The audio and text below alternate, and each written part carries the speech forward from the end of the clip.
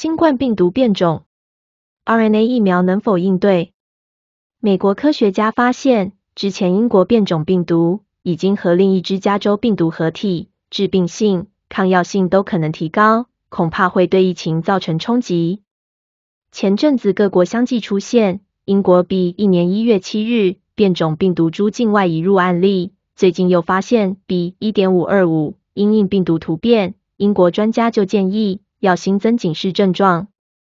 专家表示，英国说的变种病毒的症状包括发烧、呼吸道症状、跟嗅味觉异常跟腹泻，早就纳入警示。专家强调，像疲倦、头痛等，即使不符合通报定义，还是能经医师诊断，以社区扩大方式免费裁剪。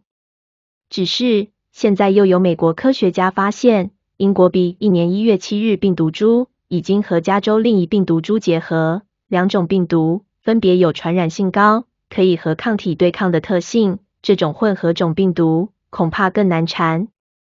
台湾胸腔内科医师周百千表示，抗体的产生本来就是疫苗的特色。今天如果说疫苗所产生的抗体，它对 L 四五二 R 变异有抗性的话，就自然而然造成这个病毒在融合之后，不但复制速度变快，而且它会对抗体的产生没有抵抗力，就怕现有疫苗。对这些陆续变异甚至融合的变种病毒无效。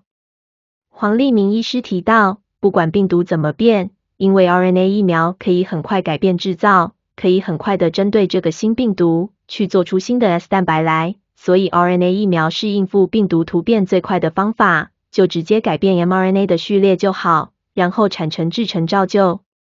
目前全球已有两支 RNA 疫苗发展成熟，情况相对乐观。面对变异病毒来势汹汹，也成了对抗疫情的强力武器。